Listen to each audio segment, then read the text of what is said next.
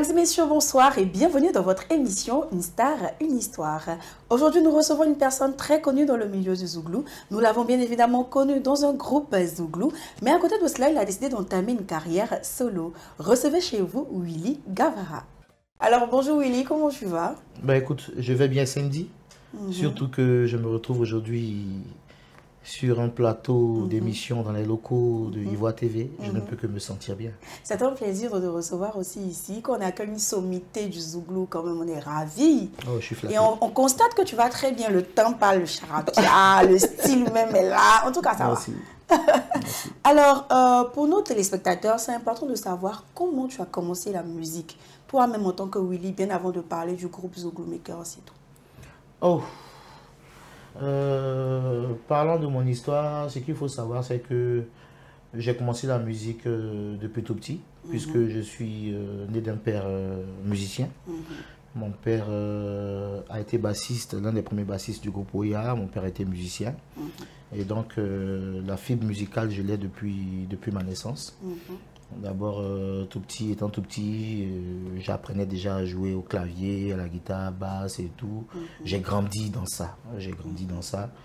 Et donc, euh, voilà, j'ai même été chanteur lead vocal de, de l'orchestre, d'un orchestre formé par mon père. J'ai fait du reggae avec lui, j'ai fait un peu de tout. Voilà, donc c'est pour répondre à ta question, la fille musicale me vient de mon père et j'ai commencé tout petit. Ton père, c'était un artiste connu ou... Euh? Euh, pas connu. Mhm. Il a fait les premières heures du groupe Oya. Il s'appelait Billy Il a été le premier bassiste du groupe Oya. Mhm. D'accord. Et tu as commencé dans quelle région de la Côte d'Ivoire? Euh, À Soubré. À Soubré. À Soubré, là où, je, là, là où je suis né, mhm. là où j'ai fait mes premières classes, là où j'ai grandi. Donc voilà, on avait un bain à Soubré avec mon père, mon oncle, le docteur Aguido, et voilà, c'était un orchestre de Soubry. Donc, euh, euh, on jouait chaque week-end tranquillement. C'est là que j'ai véritablement fait ma formation. Et puis, euh, voilà, après, c'est après mon bac que je suis arrivé à Abidjan pour les études et tout. Mais je me suis jamais éloigné de la musique. Et puis, bon, voilà, ça m'a jusque-là. Donc la musique t'a été transmise par ton père, donc c'est une sorte de génération en génération, de père en fils. Quand tu parles de ton, ton histoire, Soubré, Soubré, quelle a été ton école primaire à Soubré? On va faire un oh. coucou au, directeur de l'école. Soubré, j'ai fait quoi? J'ai fait Saint-Charles 2, j'ai fait Saint-Charles 1, oui, Saint-Charles 2. Bizarrement, c'est ma mère qui est la directrice actuellement. Ah, coucou maman. Uh-huh. j'ai fait Saint-Charles 2, Saint-Charles 1, j'ai fait le lycée moderne de Soubré aussi. Alors, niveau scolaire, tu as fait quelle étude? Tu as eu quel diplôme? Oh, je suis pas à l'école. Hein. Eh école, c'est école. Même CPS, c'est école. Euh, écoute, j'aime pas trop, trop parler de. J'ai. Bon. J'ai fait un peu, un peu, un peu, un peu quand même. Mm-hmm. J'ai une licence en anglais. Ah, mais tu es allé à l'école. Donc, disons, c'est moi que. Attends. Mm-hmm. Voilà, uh-huh. voilà. Donc tu es, tu, es, tu es bilingue. Donc si je commence en anglais là, là, je peux... On peut juste essayer. Ah, hein. mon cher, mais c'est pas faux. C'était juste pour t'éviter.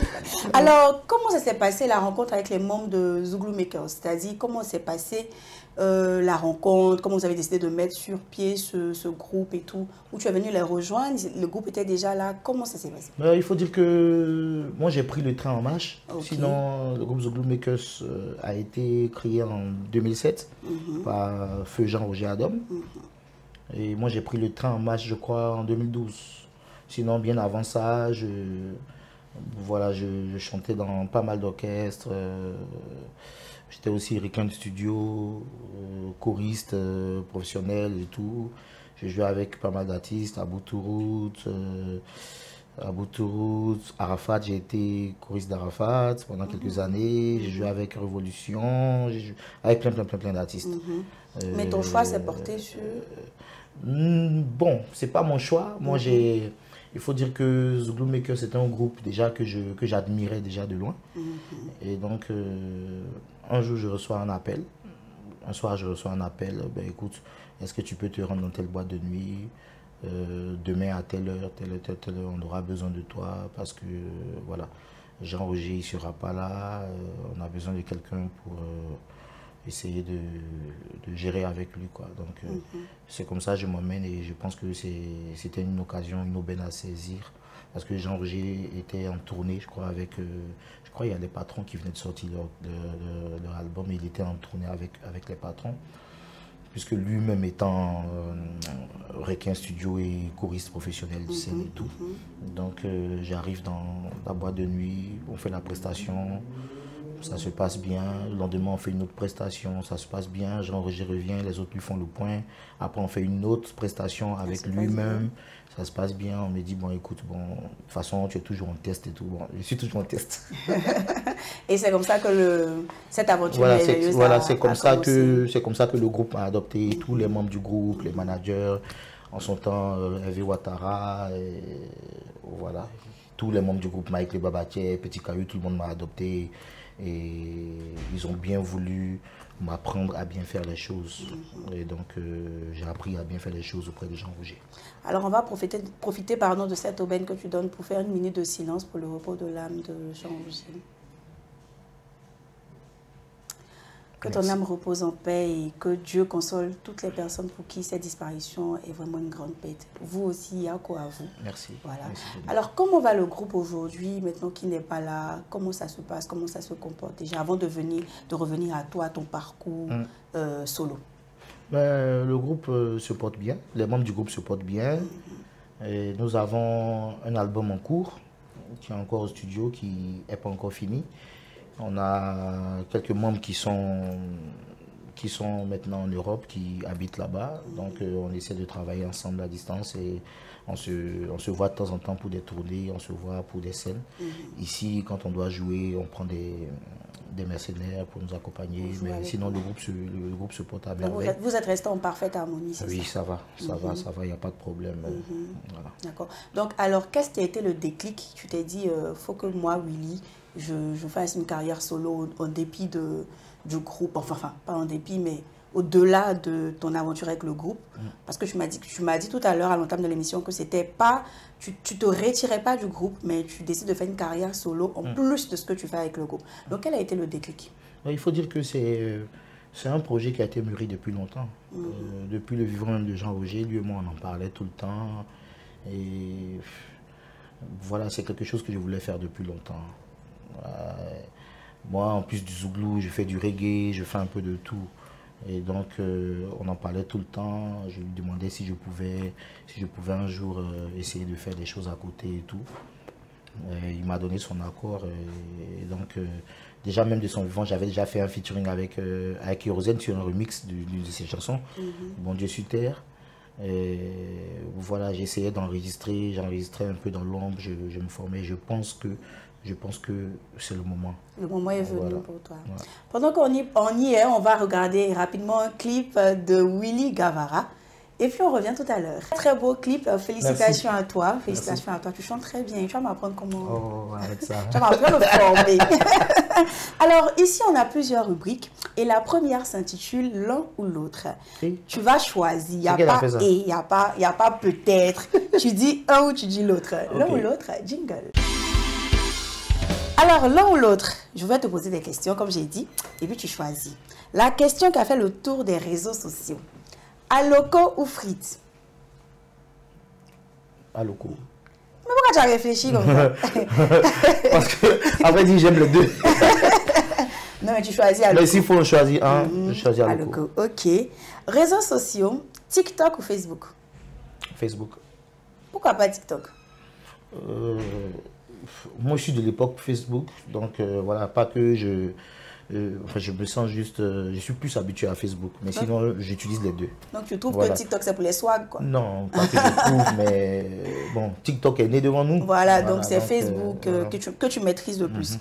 Club africain ivoirien précisément, ASEC Mimosa ou Africa Sport? Il y a une polémique tout à l'heure sur les réseaux sociaux ces jours-ci, là. Donc, faut dire, toi, tu es de quel camp? ASEC. Ah, non, tu es mon frère. Parce que si tu avais dit Africa, même l'émission allait s'arrêter. euh, les grands joueurs internationaux, Messi ou Cristiano Ronaldo? CR7. Ah, t'as fini de poser ma question. Si Donc, je la savais pas chez lui. Hein. Non, ah, bon, coucou Ils sont qualifiés. Messi, coucou Messi, je vais faire comme si j'ai rien entendu. Donc, évidemment, Real Madrid ou PSG Ah, la Madrid. Non, mais il n'y a jamais vu quelqu'un qui aime CS7 et puis qui aime PSG. Ah, un madridiste. Ah, yeah. Ne savais pas que tu avais changé de Ah, nationalité. quand Euh, artiste féminine, José ou Roselyne Layo C'est forcément l'un ou l'autre. Ah, c'est la le nom de la rubrique. Je, non, mais je décide de passer. Comment ça tu as passé? Je les aime, je les adore. Donc les deux. Les deux. Exceptionnellement les Exceptionnellement, deux. oui. D'accord. Style musical, Zouk ou Rumba? Rumba. Hmm. Rumba, là, c'est genre un jeu de rein. Tu t'en sors pas mal. On peut essayer. Et enfin, la dernière question, c'est ma question phare. Garba ou Attiéké, poisson des femmes? Le Garoua, le Garoua, Garoua. Garba, toujours. Garba toujours. Ouais. Attiéké, poisson des femmes, hein? Non. C'est à cause de vous, les femmes, là, deux là, ça va pas chez C'est pas elles. mon mouvement. D'accord, alors merci de t'être prêté au jeu. C'était tout pour les questions l'un ou l'autre. On va revenir à ton parcours musical. On va parler de tes distinctions. Déjà, je sais qu'en tant que Willy Gavara, vu que c'est maintenant que tu commences, il n'y a pas eu forcément des distinctions. Non, mais non. étant dans le groupe Zouglou Makers, quelle est la distinction qui vous a le plus, enfin qui toi, t'a le plus touché? Oh, est-ce que je me rappelle encore de l'année? Mais je crois qu'on a été euh, Zouglou d'or, on a été primé Zouglou d'or en 2015. Et euh, j'en étais vraiment ému. Parce qu'il faut dire que euh, les années 2014 et 2015, euh, euh, on brillait. On brillait vraiment. On a, on a été révélé en 2014 avec notre album Jamo Jamo et Jamo Jamo battait son plein. Et donc, je pense que c'était c'était une certaine consécration. Et donc, euh, si on doit parler de distinction qui m'a le plus touché, c'est celle-ci. Zouglou d'or. Zouglou d'or. En tout cas, félicitations à vous. On est très fiers de vous parce que vous, vous mettez les couleurs du drapeau ivoirien très haut. Vous les hissez très haut dans le monde entier. Et on n'a pas l'occasion de vous dire, on est très fiers de vous. Merci infiniment. Alors, on va regarder ensemble quelques images et tu me diras ce que tu penses des personnes que tu verras sur ces images. Donc, on regarde le cran ensemble. Oh, la mouche tangue. Ça, c'est mon vieux. Pata la mouche. Acteur euh, culturel ivoirien.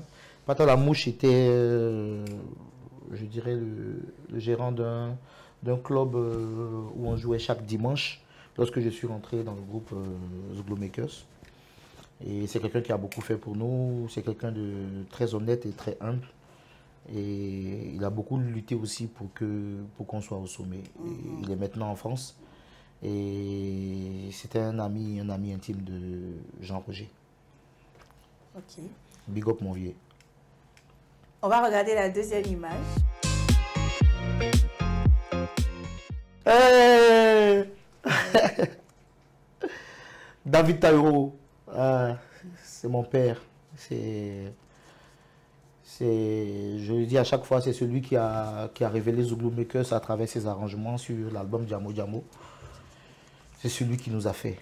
Et je lui dis merci, je lui en serai toujours reconnaissant. Et c'est même lui d'ailleurs qui a arrangé Zouglou Puissance. C'est lui qui a arrangé Zouglou Puissance et il est encore en train d'arranger plusieurs titres sur mon album à venir. C'est- C'était le père spirituel, le père de Jean Roger. C'est aussi mon père spirituel et vraiment je, je lui dis merci pour tout. Merci à toi, grand frère, papa, doyen. Il était sur mon plateau ici, instant d'honneur. J'étais toute rouge. Totorino Samouraï Merci beaucoup. Alors, on regarde la dernière image. Je sais qui t'a montré.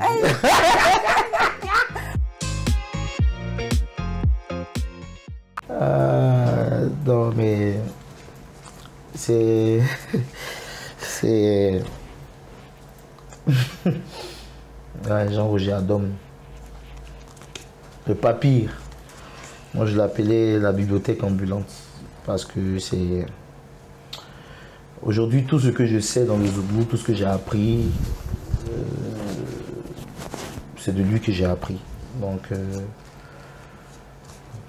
c'est quelqu'un qui me manque beaucoup. Excusez-moi, je ne peux parler de Jean Roger sans, sans émotion. Ce qui est normal. hein. C'est, euh,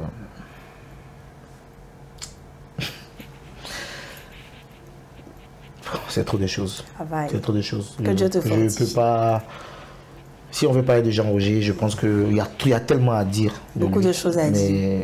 Il me manque et je pense, je pense qu'il manque aussi euh, au public ivoirien. Je pense en ce moment à, à son épouse, à ses enfants et à sa famille biologique, à qui j'adresse mes sincères condoléances et à qui je demande d'avoir du courage. Que Dieu vous fortifie tous. Alors, on va finir cette page un peu triste. Je vais essayer de te donner un peu de joie. Alors, on va passer au... Mon, mon artiste est ému. Ça va aller. Donc, il faut couper ça. non, oui. ça va aller. Ouais. Ça va. Je pense qu'il est fier de toi. Hein. De là-bas, il est fier, il est vraiment fier parce que tu mets en exergue tous les conseils qu'il t'a donnés. Donc. Et c'est pour ça même qu'on te l'a montré. Il nous a dit de te dire qu'il est fier de toi. Merci. Merci. ok. Comme je te l'ai dit à l'entame de l'émission, on a plusieurs rubriques ici. Mm -hmm. Et la deuxième s'intitule Mode et astuces. On parle de mode, de petits topos, d'astuces de, beauté. Donc on va y aller. Mode et astuces, jingle. Donc, comme je t'ai dit tout à l'heure, on parle d'astuces de beauté, de mode. Euh, la semaine passée, j'ai parlé de comment bien conserver sa bouteille de parfum pour éviter que l'odeur se dénature. Donc, on avait dit, pour rappel, de la garder à l'abri de la lumière et de la chaleur. Aujourd'hui, je vais parler de comment mettre le déodorant pour qu'il ne fasse pas de marque sur les tenues. Ah. À la rigueur, quand tu mets ton déodorant et qu'il te laisse une marque, comment l'enlever? C'est ça, c'est beaucoup plus ça. En tout cas, j'en ai besoin. J'en ai besoin, surtout sur les vêtements noirs. le déodorant a la fâcheuse tendance de laisser des traces jaunes ou blanches sur nos vêtements. S'il est difficile de s'en débarrasser avec un simple passage en machine ou à la main, parce que ce n'est pas tout le monde qui a machine à laver, ces quelques astuces vous aideront à les faire disparaître à jamais. Alors, le bicarbonate et vinaigre blanc pour lever une tache de déodorant. Déjà, est-ce que tu connais le bicarbonate? Ouais. On vend ça en pharmacie, donc c'est facile à trouver. Ouais. Pour retirer les taches de déodorant d'un vêtement coloré, mélangez 3 cuillères à café de bicarbonate de soude et 2 cuillères à café de vin blanc. À l'aide d'un linge, tamponnez la tache de ce mélange. Attention à ne pas être en contact avec le liquide. Je tiens à rappeler que toutes les astuces que je vais donner, portez des gants avant de les faire pour votre santé.